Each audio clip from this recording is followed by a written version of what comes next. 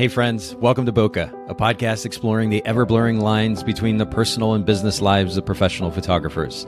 This is your host, Nathan Holritz, and I'm happy that you can join me today in connecting with photographers and entrepreneurs as we discuss photography, business, and, oh, yeah, that sometimes messy thing that we call life.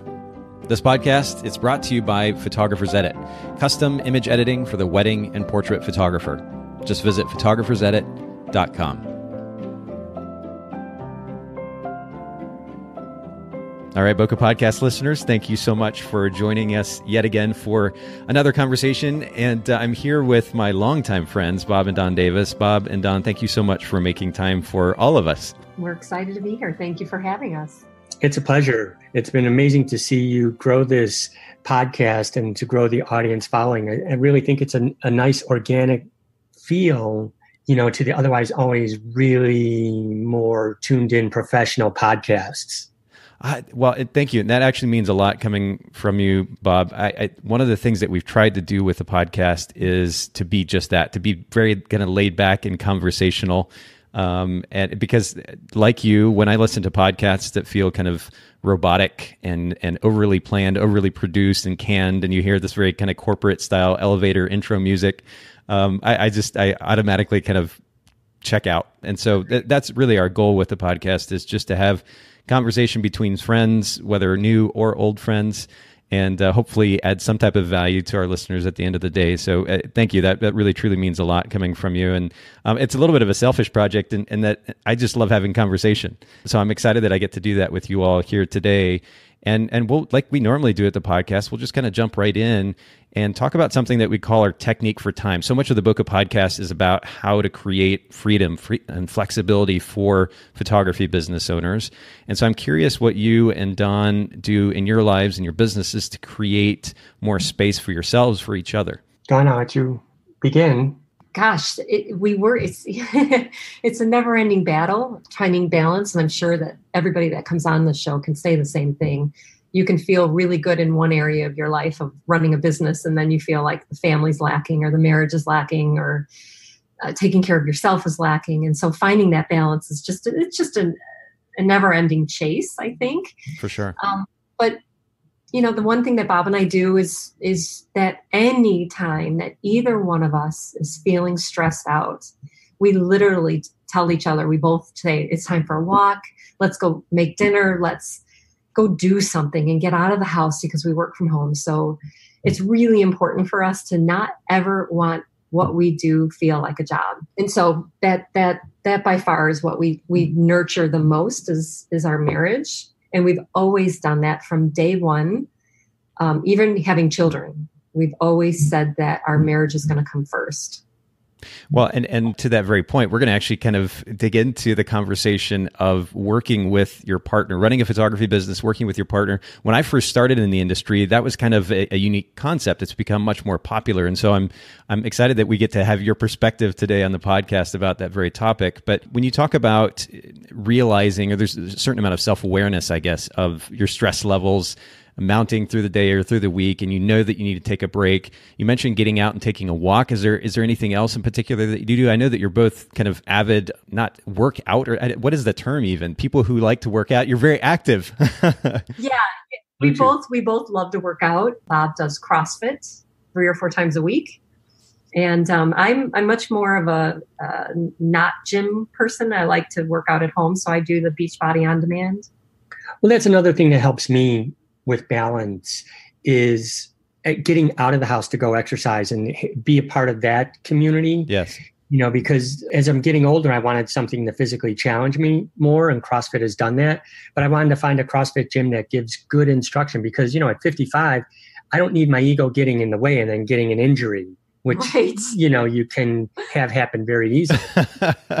well, but I have to give you major props, Bob. You and I have had the opportunity to spend, and and Dawn for that matter as well, a lot of time together over the years at a variety of conferences. And it particularly sticks out in my mind hearing that Bob is coming back and we're getting ready to go to breakfast in the morning uh, at WPPI or whatever it might be. And, and I'm hearing about Bob has just finished a workout and he's coming back from his workout or he did this workout in his room with a video. I know that both of you have done that. Uh, Dawn, you just spoke to that. But the consistency with which you all take care of, kind of proactively take care of your health is a really, really great and an inspiring example for all of us.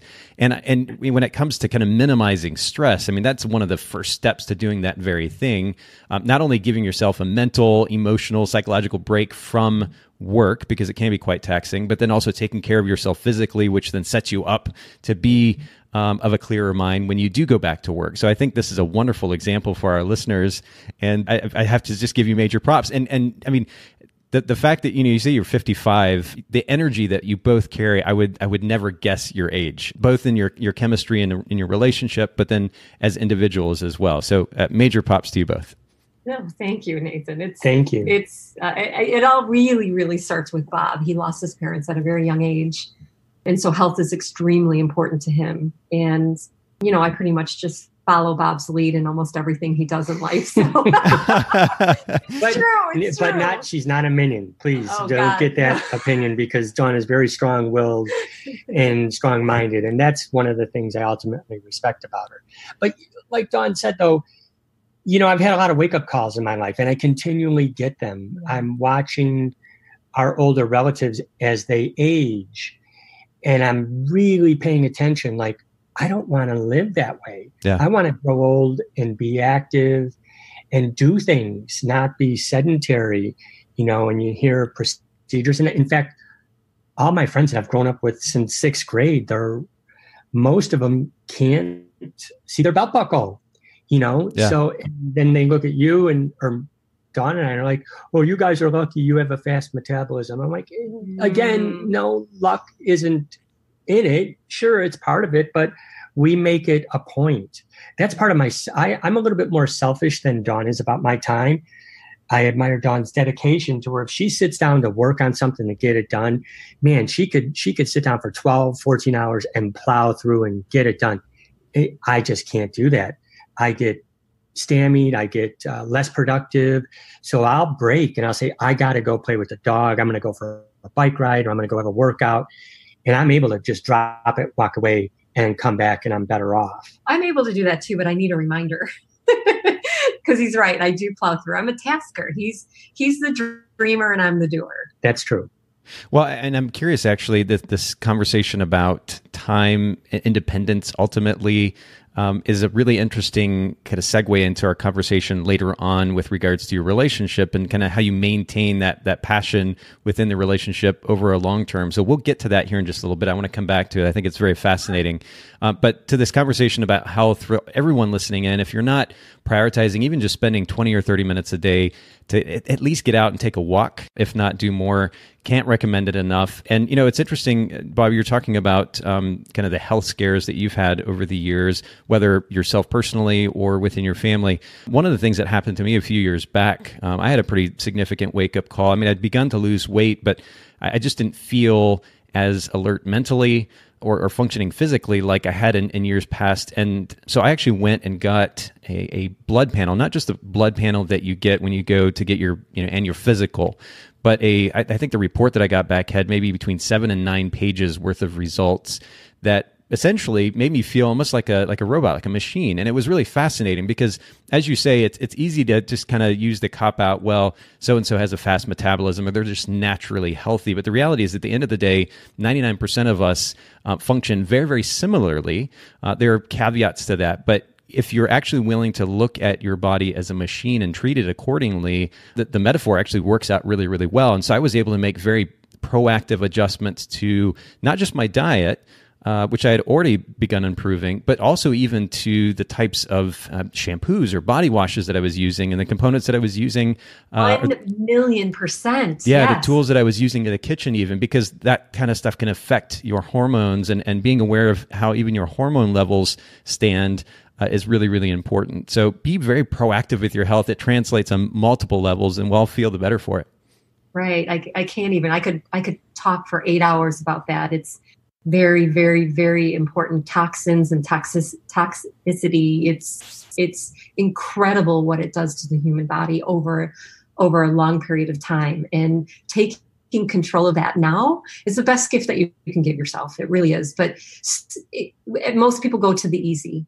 And big box advertising like Tide and and all these big name brands, it just it it makes you feel like you're doing the right thing by using the most advertised product and essentially we're just all brainwashed. Well, and, but, and, it's interesting that you make make mention of that though, because uh, I think there is it's, it's easy to say, well, everybody else uses that stuff and they seem to be quote okay. But again uh, there is while some of this might kind of seem out there and a little bit hippie the reality is that we can actually look at our bodies uh, scientifically. We can look at the numbers and use that data as a baseline and then look for ways to improve. So for example on, on a more tangible level i know that naturally i tend to run uh, or was running low on vitamin b12 and vitamin d.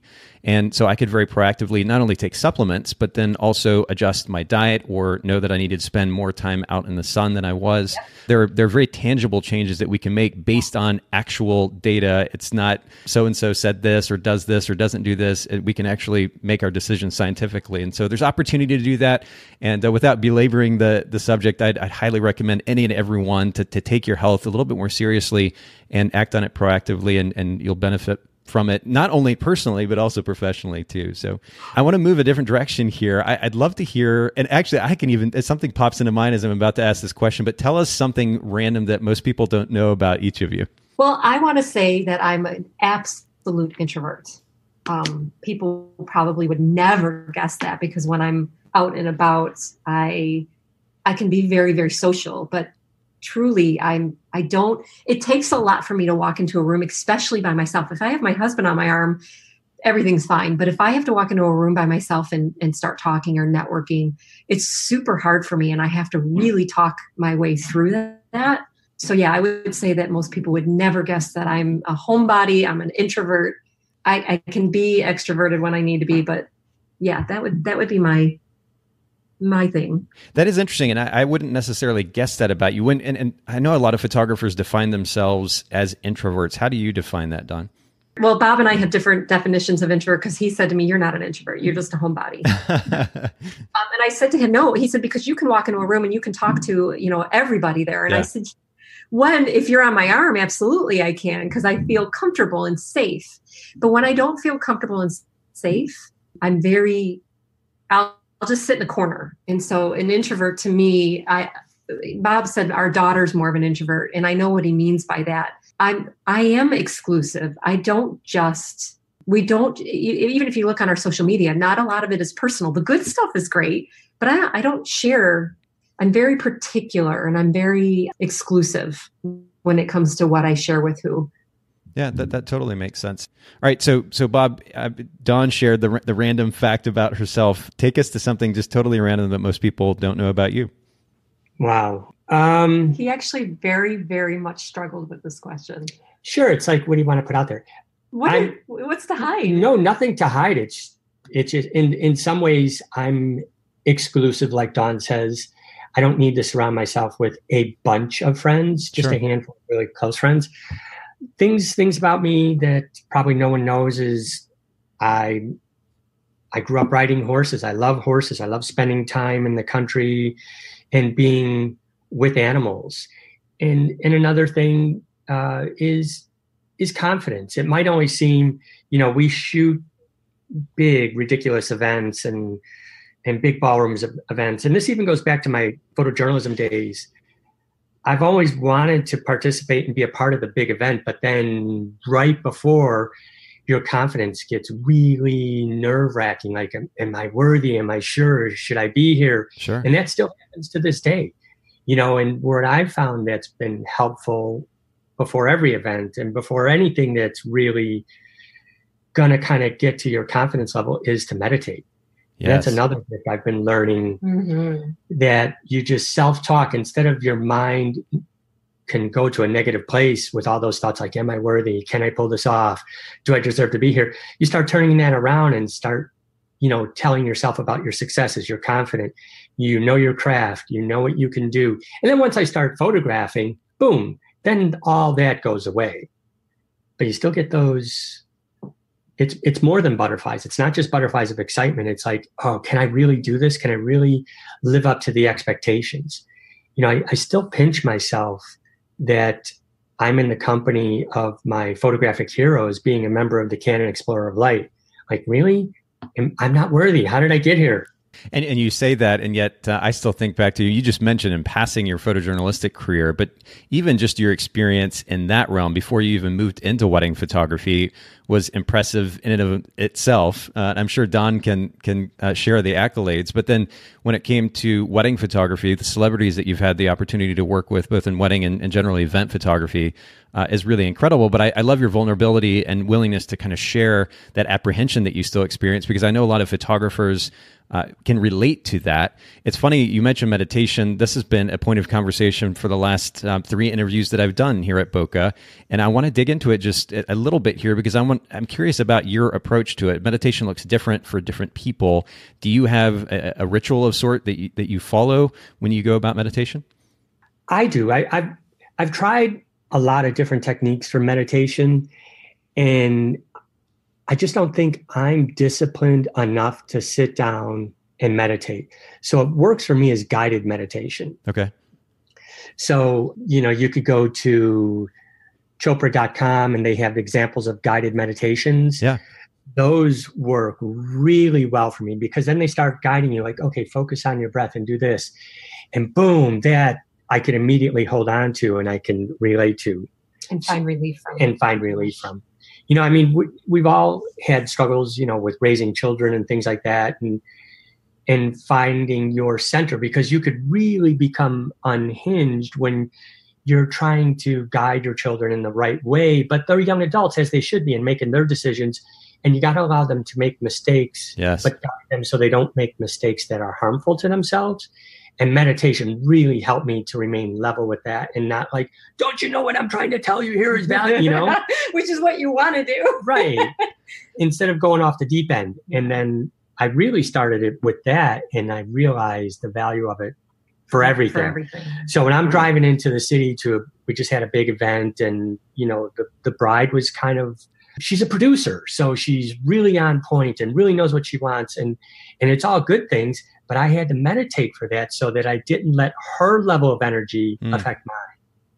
Wow. Wow. Uh, there's so many different directions that we could go here. I, I, have to go back to the point that you made about parenting because I'm sure plenty of our listeners are parents as well, and they struggle with that balance between uh, making sure that, well, very simply, as you pointed out, Bob, that, that their kids are free from or safe from harm, at least to any kind of great extent, uh, but then also giving them the space, the opportunity to learn to make choices. And I don't know if I've spoken about this on the podcast before, but it was something that I've, I have struggled with quite a bit over the years the notion of choice. And of course, that translates to my work in business as well, because I wasn't raised in an environment where I had a lot of freedom for choice, and not just because of my parents, but uh, other environments that I was I was in it as well.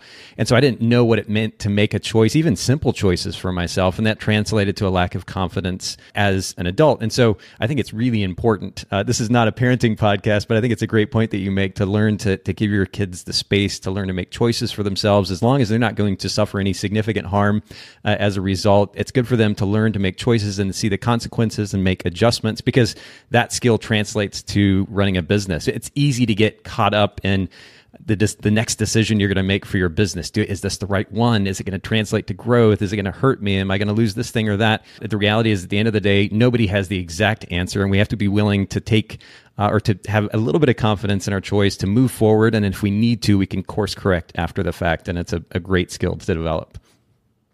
Well, that's a great point that you brought up.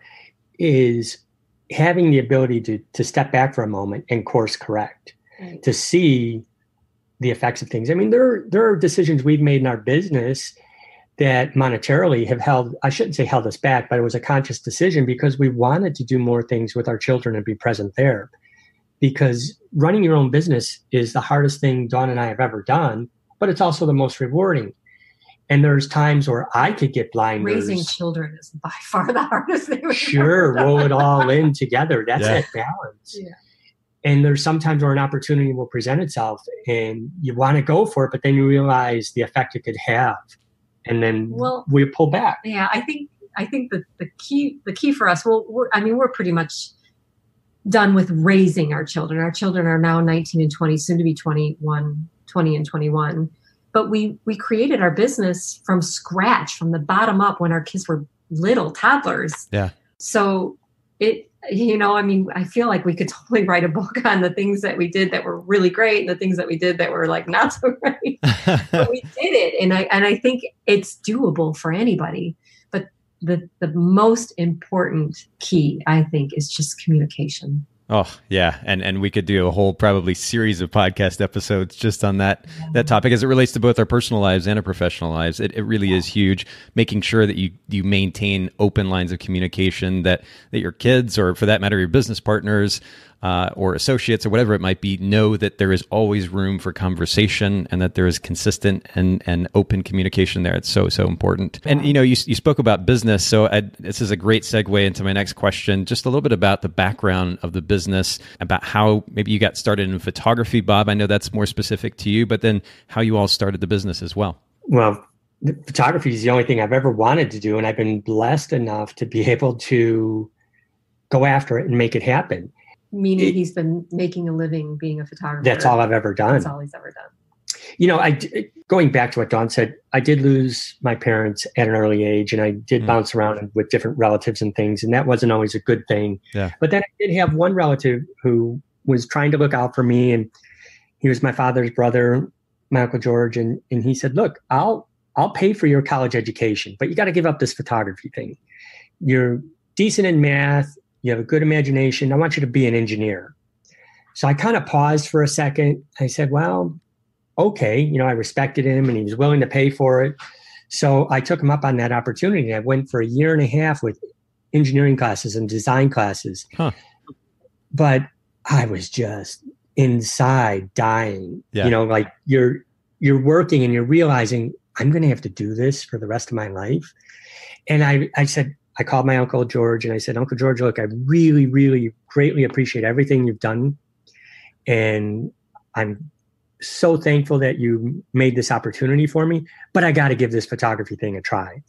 So I and I, I have to interject here, Bob, wait. because for those for those who don't uh, or haven't had the, the privilege to know Bob personally, I, I can imagine, I can picture you sitting in that in those classes instead of paying attention to whatever they were talking about with regards to en- engineering or otherwise um, and you know noticing something funny about the person's clothing or something random that the, that the classmate across the room was doing. You you have and, and I, I mean this in the best way possible you have a, a kid's mind and imagination.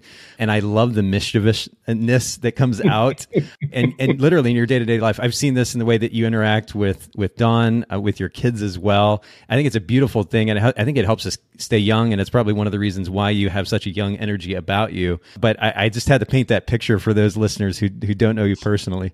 He's very mischievous. He's very very he's very naughty a lot of times. I'm always always always shaking my head. It's it's it's always funny when it's not your husband. Yeah, well, at least keeps things interesting. But Bob, I didn't oh. mean I didn't mean to interrupt no, the train of thought there. No, please, please I continue. appreciate that. Yeah, you know, you, that leads back to you. You can't take it all too seriously. Hmm. You know, yeah. at least for for us, it yeah. works. Taking it too seriously, you know, everybody puts their pants on the same way, one leg at a time, and, and it's it, a great equalizer. It takes a village. It takes a village to get a job done. So, you know, everybody has a part in that, and you need to be respectful and thankful for all of it and everybody. It's it's very very true. Well, t- take us back then, Bob. You're you're you had the opportunity to go to class. You realize this isn't for you, so you're going to make this transition to you need to give photography a try. What did it look like from there? So from there, uh, when I get focused on something, I could be very tenacious.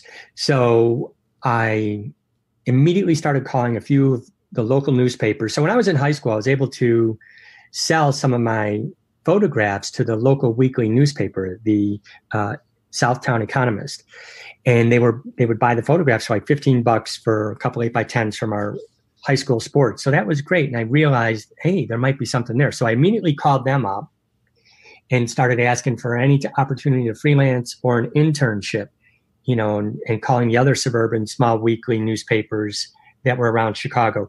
And that started to bear fruit. And I also enrolled myself at Columbia College. So my first year at Columbia College, my first semester, also I got a full year internship with a daily small newspaper, the Daily Southtown Economist. They had a weekly and a daily. Okay. And so I was going to school full time and I was working in photojournalism full time because, again, my uncle was like, well, I'm not going to support that. You know how many photographers there are out there, starving artists trying to make a living? And he's like, you got to give it a try, but you'll be back. I'm like, well, at least if I give it a try and I fail, I know I've tried. Yes. I'll get it out of my system. Yes. And I think the tenacity and never taking no for an answer has been a big beacon in my life. Even even with Dawn, relentlessly pursuing her. Yeah. I was tough. I was super tough. It paid off. So to make a long story short, thing one thing led to another, and at the beginning of my junior year, I was the college photographer of the year. I won another scholarship, which was helpful. But then I got, you know, a full time position offered to me at the newspaper. So I took that and I dropped out of college because I started traveling, you know, with the Bulls and the Chicago White Sox for sports. So I couldn't go to school full time and work full time. And the career was advancing faster than school. So I said, well, I'm going to drop out. And that really hasn't hurt me at all because I knew photographers that had master's degrees from Northwestern University, yeah. the Medill School of Journalism, that couldn't find a job. Where you know I was constantly striving to produce the best photography possible, and being again tenacious and driven to t- get those big stories and storytelling images that it kept advancing my career. Well, and, and honestly, I mean, I've I've already alluded to the possibility of multiple episodes with probably various conversations that we've had thus far. I could really dig into your photojournalistic background, Bob, because it's quite interesting to me. And I mean, you, you mentioned the Bulls, and of course, you had the opportunity to photograph Michael Jordan and others. Uh, I think it's really, really fascinating. But for the sake of time in our conversation today, maybe fast forward for us then to the transition from uh, working at the paper into wedding and event photography there's there's no better school to prepare you for anything photographically than photojournalism because at a demanding large metropolitan newspaper you have to produce an image that's going to appear in print. Yeah. And my picture editor always said bob Katalik always said to me kid come back with a good picture or don't come back at all. We can't publish an excuse. And he meant it. So i've embraced that my entire life. So fast forward to 2004, I got burnt out on bad news. Just too, I was too good at it for whatever reason. People welcome me into their life and would tell you their whole story and let you photograph them on this journey on their worst day.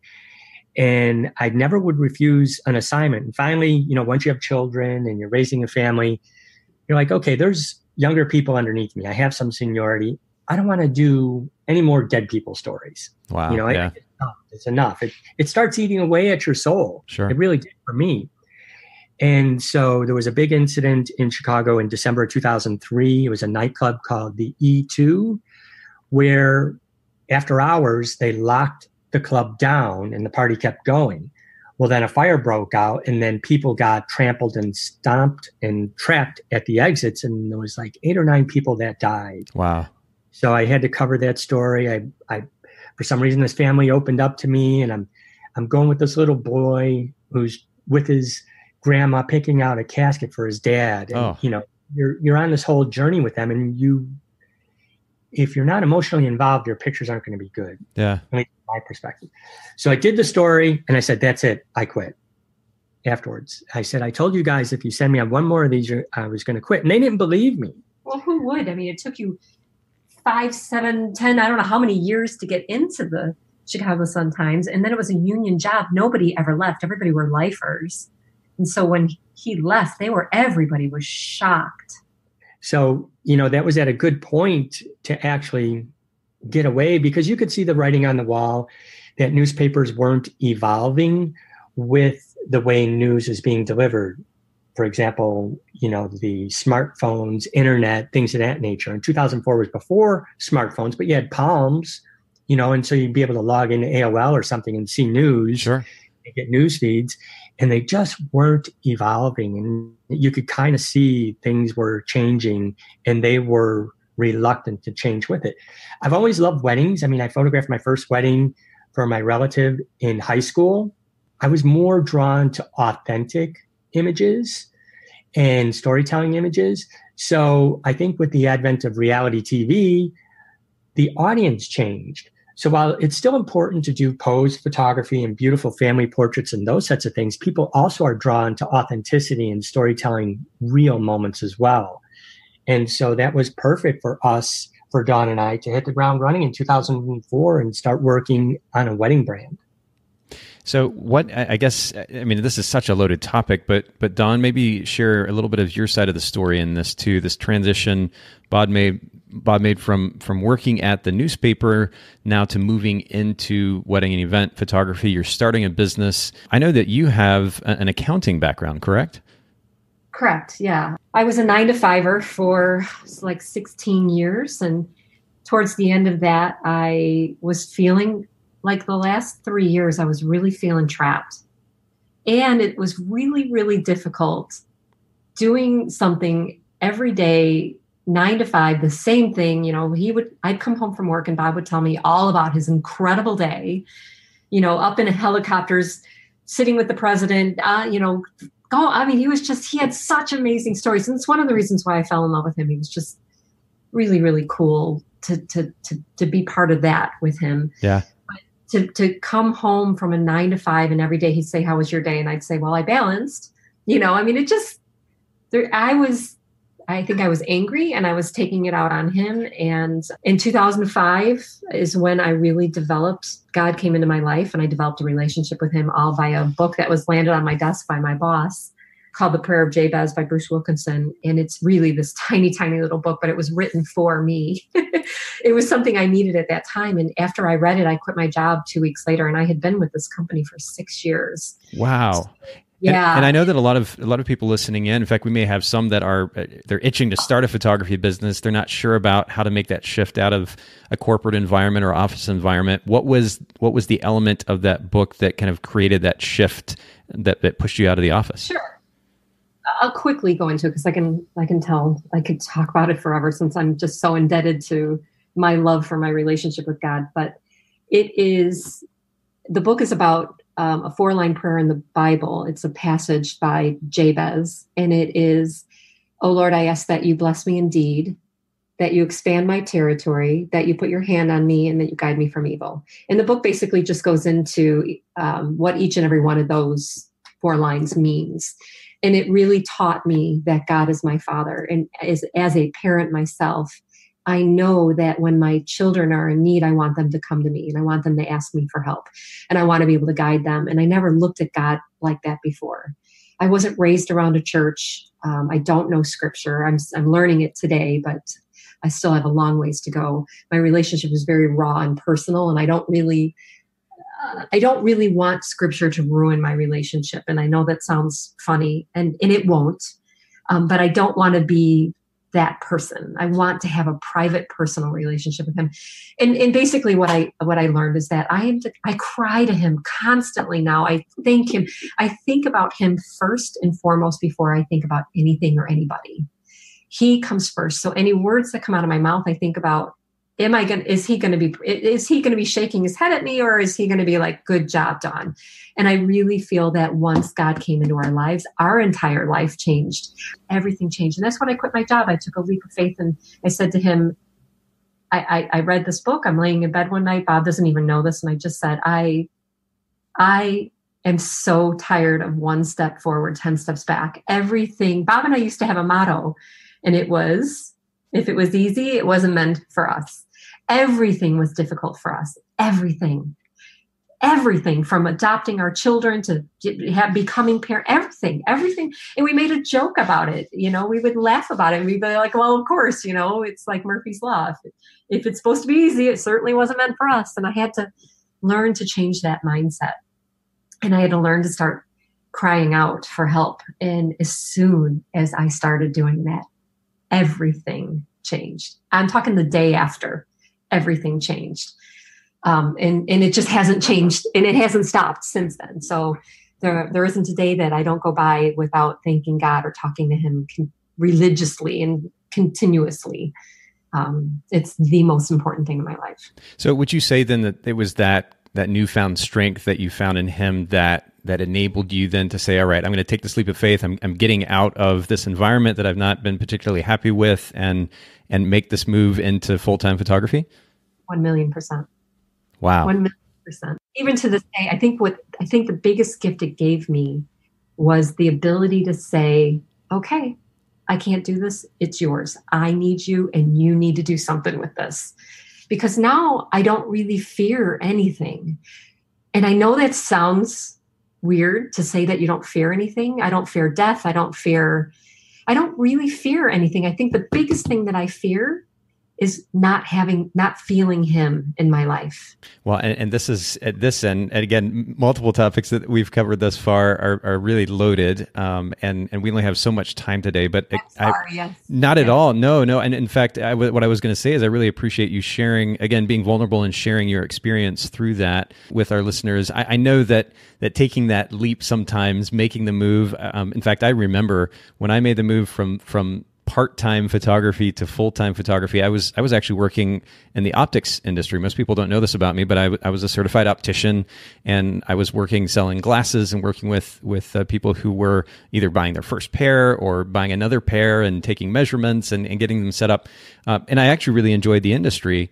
But I was working in an office at the time with uh, it was actually a husband and, and wife team uh, that were running this particular practice. The husband was the doctor, the wife was the office manager, and very simply, there was some dishonesty going on in the practice, and, and I just didn't want to be a part of it. And uh, so one day I just I'd had enough and and let them know, and they were very quick to kind of push me away because of course they didn't want to be confronted about the dishonesty. And uh, so I came home and, and told my partner at the time, uh, I I'm basically we're going full time in photography, or I'm going full time in photography. It was just something that was kind of pushed on me, and many times unless we have that life experience that kind of pushes us into the next phase, uh, it can be tough to make that that decision. But uh, obviously, you all have made the right decision, and you've benefited significantly from it. And and of course, the wonderful thing, even more wonderful thing, is that that so much of the world has benefited significantly from that.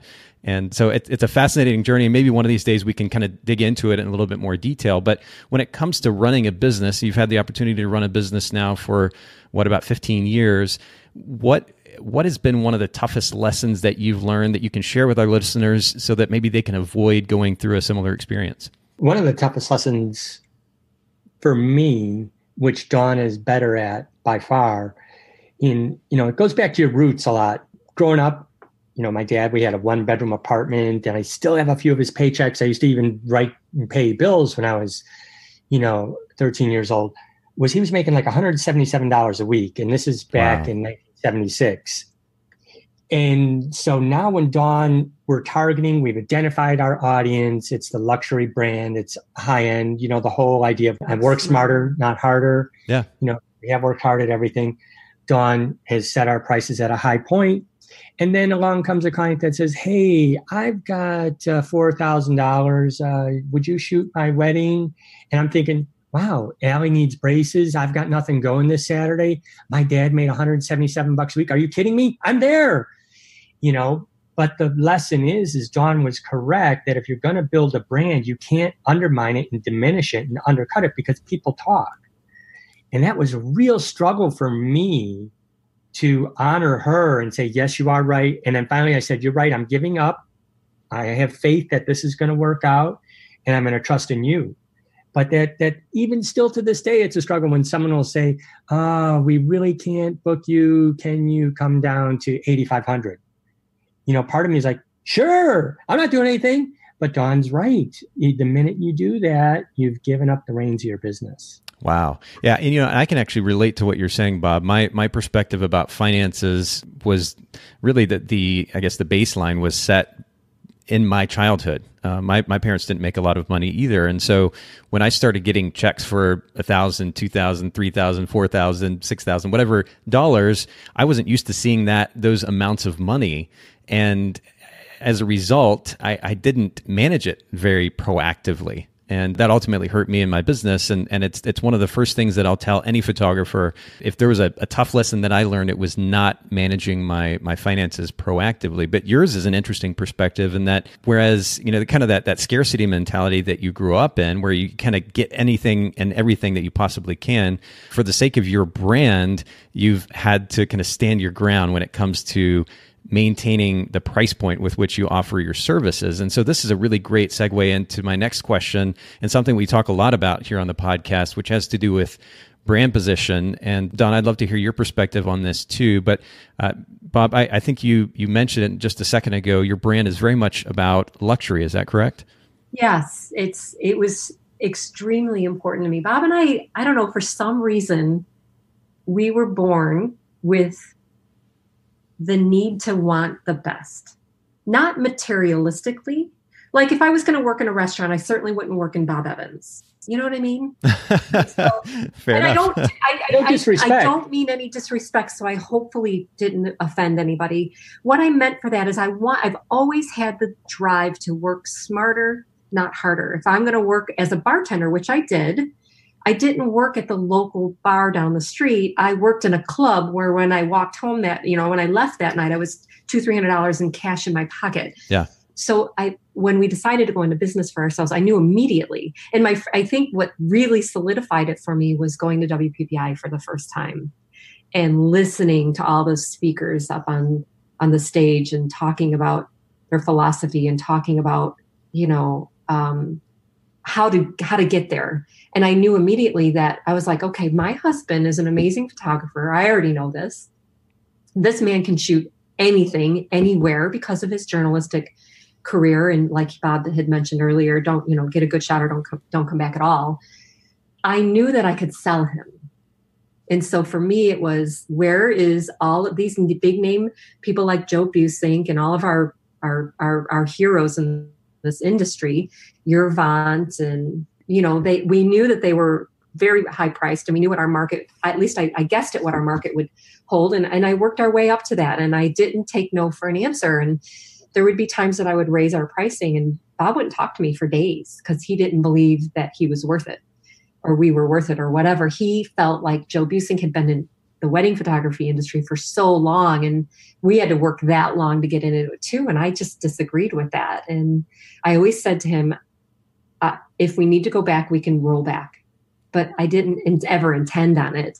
And and really we just we worked to get the luxury brand market because i didn't want to shoot 50 weddings a year. I wanted to shoot no more than 20 and that was a goal and that was what we accomplished. And it took us you know a couple years to get there but it it you know we we did it and we did it while we were raising babies you know and we were walking our kids to school and taking them to doctor's appointments. You know it was beautiful. It was such a great journey looking back on it so this this word luxury is one that's been kind of thrown around in our industry quite a bit. Um, it's easy for somebody to call themselves a luxury photographer. It's another thing to actually be it part of that part of what drives that that word i guess it certainly is price point. and i know that you're charging upwards of $10000 $15000 for a wedding that that would automatically put you in the top 5% very easily actually probably closer to the top 1 to 2% of weddings photographed certainly in the us market uh, so price is one factor, but then the other element um, that goes along with that is the experience as well. So I'm curious, how do you communicate this brand position to potential clients, whether it's through your website or through the relationships or otherwise? Well, well, let me just say one thing. Sure. What I what I think really helps define Dawn and I from other husband and wife teams or luxury wedding photography brands is Dawn's the secret weapon. She's not a photographer. She's great at business. She's great at relating, and she knows what women love. Mm. So, Dawn. For me, there is so much talent in Chicago. There's so much cha- talent in the States, uh, worldwide. I mean, if we were to sit back and look at other people's work, we could really like be very harmful to ourselves sure. over it because it, it's people are extremely talented, probably way more talented than both Bob and I, but that's not what we sell.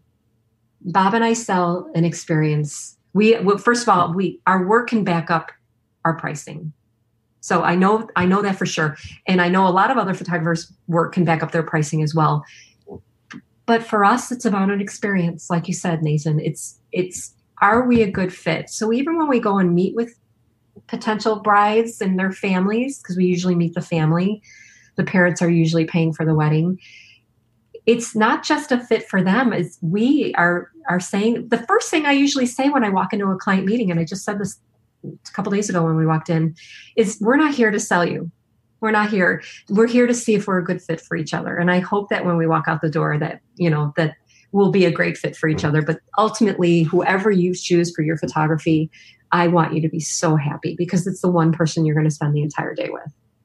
And that is what's driven our business. I think we've got a couple event planners and um, and it's it's true. I don't know why people look at other photographers as competition because there's nobody like you. It's you that you're selling. It's an experience that you're selling unless you're going for high volume that's different. But for us we knew we wanted a boutique brand and we know what that audience is you know our client if they travel they're going to stay at the four seasons or the ritz they're going to drive mercedes lexus i mean we've, we've really delved into where they're going to shop for for dresses they're they're going to buy a vera wang couture or some other designer that they have made to order. It's usually not off the rack. And then we did our diligence about okay, what vendors cater to those people? What lighting company? What floral company? What decor company? And for us, we began our luxury brand by marketing to them because they're the gatekeepers to our audience. Our client doesn't spend a lot of time on Google search right. and keywords. It's more of, word of, of a word of mouth mm-hmm. for sure and referrals because that clientele is very close knit and they talk to one another. So if one person used you and they trust you and they like what you did, that leads to more. So referrals. And, and that's super important to me. I think the integrity and the authenticity that Bob and I have built in our business over the last 15 years has been vital and it's it's not just vital for our business it's vital for me as a human being and to be in a marriage with somebody that i believe in and that i can feel proud of and that i know that he's got my back i've got his back and that we can check each other into bring it back down to reality. I certainly i certainly don't feel like we need to live in our clients world because we can't. We we don't make the money that we we far, far, far make from what our clients but i don't think that you need to live in that world to work with them you know you need to create that experience.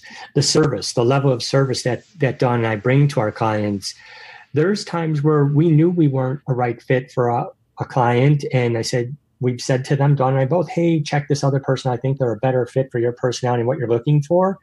And yet they would keep calling us back like what do you think this how do you think this would photograph? How do you think because you develop that relationship and trust. And then down the road that pays dividends. Yeah because they'll refer their friends to us even though we didn't photograph their wedding so you made mention there multiple times of the significance of relationships, and and uh, I would agree with you, Dawn. We don't necessarily have to make the same amount of money as our clients to be able to understand them well enough to work with them. It does start with the relationships, connecting with the right people that act as then referrals to those potential clients. Uh, you also spoke to the significance of empathy, which I think is just, I mean, it, it, we can't emphasize that enough. Understanding whether it's a high end client or not, understanding how our client thinks, what they're interested in, learning to speak their language is so, so important. And then, of course, that translates to, to the experience that we create for them, uh, which uh, again can't be emphasized enough. As much as uh, the the photographic artist wants to put you know more emphasis than ever on the art itself, which is in and of itself extremely significant. We have to remember at the end of the day that the experience, and, and many, if not most cases, is ultimately what's going to set us apart from the the high end or the low end market or just from our fellow photographers. So uh, it's important to keep these ideas in mind. I think these are really important for our listeners. But Dawn, you also spoke to the, the chemistry that you and Bob have, your relationship, and how that has kind of driven your ability to be able to work in this particular market. So I think that's a great, uh, yet again, another great segue into really our primary topic for today, which is your relationship. And I know we've hit all all types of topics. For for the sake of time, I want to respect your time. I'd love for you to comment just briefly on how that relationship ultimately has benefited your business and and Bob more specifically your work as a photographer. Well, the, the relationship is utmost and knowing that Dawn believes in me inspires more confidence and it's allowed me the freedom to forget and worry about the money coming in and to focus on serving the client. In the end, like Dawn said, there's so much great talent out there, but it's how you serve your client in that you can meet their needs or that you can anticipate. If you could see the mother, of the bride is a little bit nervous, she may need a drink of water. I'm not above saying, Hey, can I get you a glass of water? Could I do this for you? Can I do that for you? That's all at that level of service that a lot of other photographers don't do. They're there to just shoot and they're going to shoot for themselves most often. They're looking for big cinematic images, things that are going to win awards at WPPI. And nothing wrong with that. But for us and for me, it's more serving. How can I use my craft and my artistry to serve them in a way that they're going to look back on years from now and appreciate? And so ultimately, there, I mean, very simply, what we're talking about here is, is, is, playing on each other's strengths and, and that chemistry ultimately enabling the business model. Is that right? Definitely. It, it for for Dawn and I, a big part of it is it's that comes down to respect, respecting each other. We're both passionate about what we do. We're passionate about our marriage, our relationship, our business, our family, our children and oftentimes that passion causes us to bump heads because we both are strong people. But at the end of the day, we recognize that we're coming at this not out of any malice or harm, but out of passion. And then you realize that each of us are trying to do the best for each other and for our business. I think you always describe it beautifully when you talk about the two rooms. Well, yeah, I got inspired by Elton John and Bernie Taupin it's very much how Dawn and I work. You know, Elton John, I'm kind of the show pony, like Elton John. You trot me out there, I go speak, or I'm shooting. You got to be fun and all, all those sets of things and capture the image.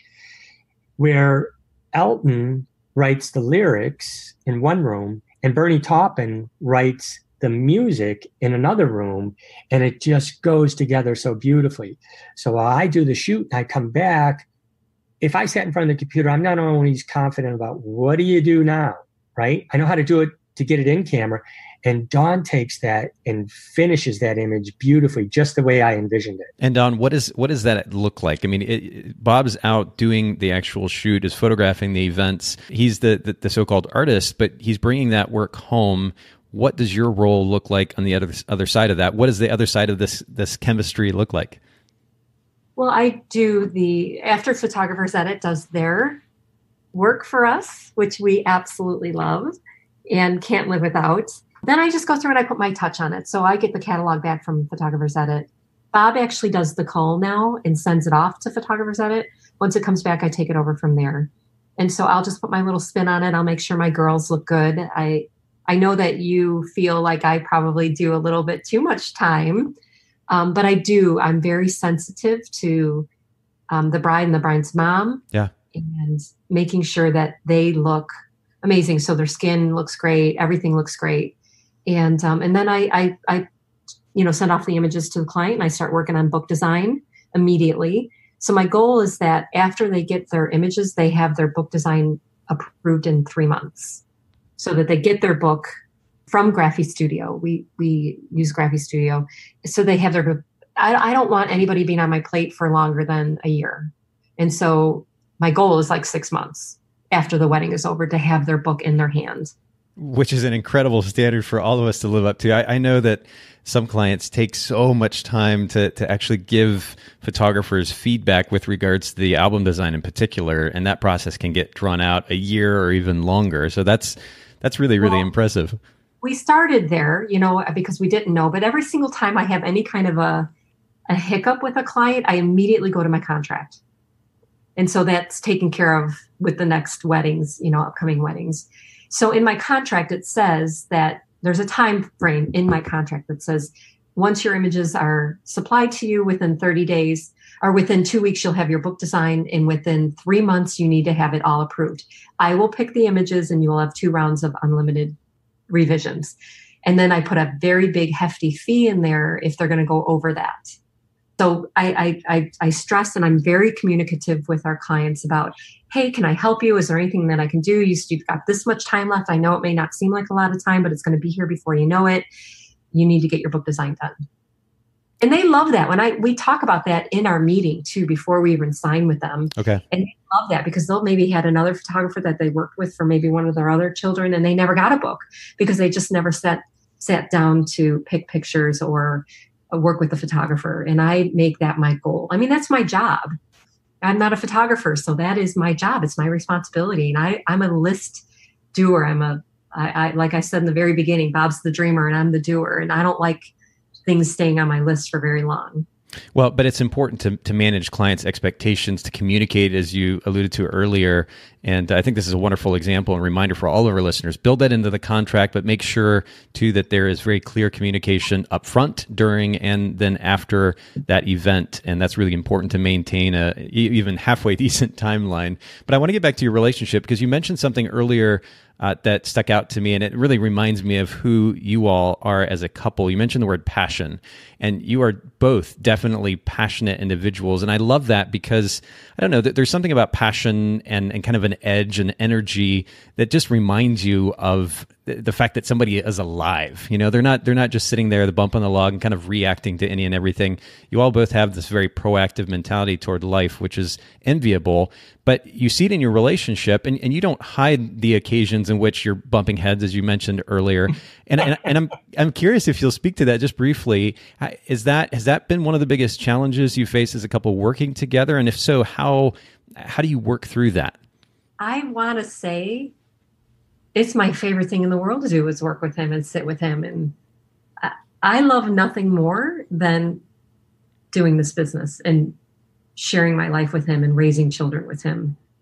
It's a challenge and it's but it there's so much passion in our marriage and so much joy that we see on a daily basis that we enjoy going for walks together. We're the couple that still we walk from our bedroom to our kitchen holding hands sometimes. I mean, it's really ridiculous. we're, just, we're just really loving to each other and to people. You know, I don't know. I just, I love, I, I, I love being married to him. No, I want, I, it's, it's that, that, that old saying of you want to strangle the neck of the head you want to rest on, you know, or the shoulder you want to rest your head on. Right. You and, want to wring the neck of the person whose shoulder you want to rest your head on. Yeah. And that, that happens often daily, daily. Oh, it, daily. It, it does. And it but you it, didn't it, make the bed the right way. Why did you throw that pillow at me? I didn't talk to you that way. Why did you shut the door? You didn't even wait for me or if clients, you know, the my phone rings first and I talk about the photography and they'll inevitably ask about money. And if I say, well, we begin at, Dawn's like, stop talking about money. That's my job. And I'm like,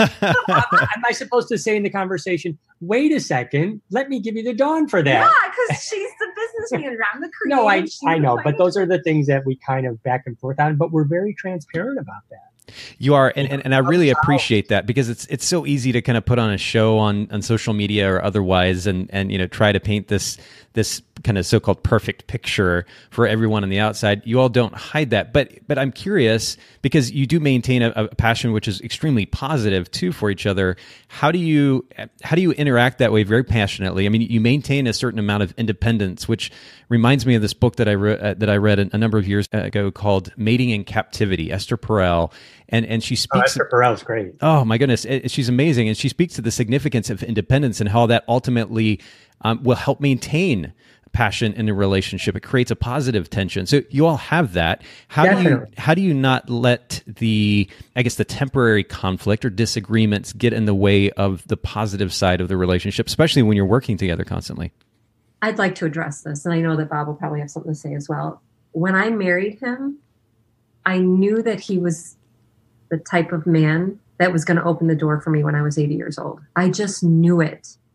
There's the way he pursued me, I, and there was nothing more admirable to me than the way a man loves his woman.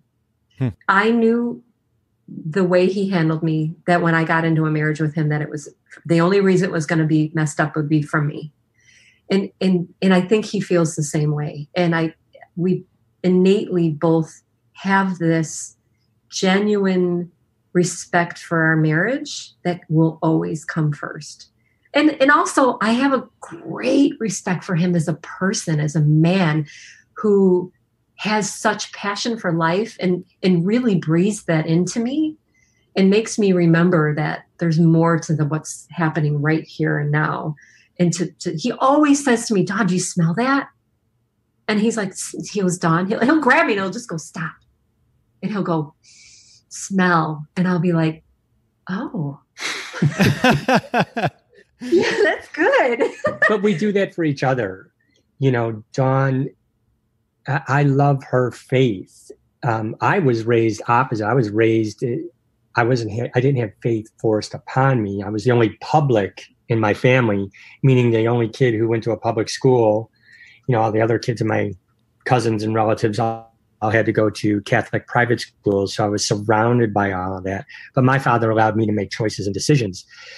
But Dawn has that innocent, beautiful spirituality and faith that I forgot about. You know, growing up with all the dogma and the rules and the this and the that and the guilt. And it was so liberating when she found her faith. I didn't not have faith, but the faith of being free in the same way that I say smell, she'll say, look at this, look at the beauty and abundance that surrounds us. There's something, there is a higher power that's, that's enabling us to be on this journey. Yeah. When, when Bob lost his job, so he left the, he left the Chicago Sun-Times to work for a national wedding photography startup company. And he was there for, I don't even know how many years, but when he got let go from that, he was devastated. And I never, I'll never forget wrapping my hands around his face and just saying to him, This is a gift. We are finally free. Look at Nathan. Look at the uh, Joy and Garrett, and look at these these teams out there that that are doing that. If they can do that, we can do this. We don't need anybody to work for. We can do this. And it was just incredible to see how we just move forward from that, from something that he felt so devastated by, just blossom into this amazing business we've created. And just one other thing to add on that topic of disagreements is learning, and this is through just marriage development, learning that it's okay to argue and disagree, but do it with respect. Yeah. Mm-hmm. And stay on the topic. Don't bring up something that happened three years ago. Yeah just stay like, okay, we disagreed about how we're handling X, Y, or Z. Let's talk about that. Okay, I overstepped. I went into your duties. I'm sorry. Right. This was just my thought process on it. But we keep it on on target and I will not use derogatory terms. Sure, I might yell and I might get passionate, but I'm not going to swear at Dawn. I'm not going to disrespect her that way sometimes sometimes my mouth gets me in trouble but i i do pray i do pray specifically to think before i speak and speak before i yell i i really um, grace is something that I've been working on for years, and I'm getting so, so, so much better. But the one thing that Bob did touch on is that neither one of us hold a grudge. And I think, I truly, I say this all the time, I think that that's the reason why we have such a great marriage is because we can get into a, a balls out fight or argument over something, and then like 20 minutes later, I'm like, "What's for dinner?" well, you're giving some wonderful tips and suggestions and advice, and and I just being the kind of romantic and passionate that I am, I want to dig into all of this. But I, again, I want to respect your time, and I actually have an appointment coming up here soon. So let's just let's make this even more tangible for our listeners. Will you share maybe a few of the biggest principles? Ultimately, maybe you have already shared some of these, but some of the biggest principles or ideas that have driven your relationship, have enabled you to create a successful and a sustainable working relationship together together? Yes, definitely respect is huge. And we've already talked about that. But I think purpose is huge too. Like we both have purpose in everything that we do. We wake up with purpose and we wake up with being intentional intentional on loving on each other intentional on putting toothbrush toothpaste on each other's toothbrushes for each other thanking him when he makes the bed you know like hey thanks for putting toothpaste on my toothbrush. Not letting that stuff go. Um, it's it's really important to to to really show gratitude in your marriage. And you know when things are difficult when bob needs time or i need time that one of the things that we're really good at too is letting each other have time.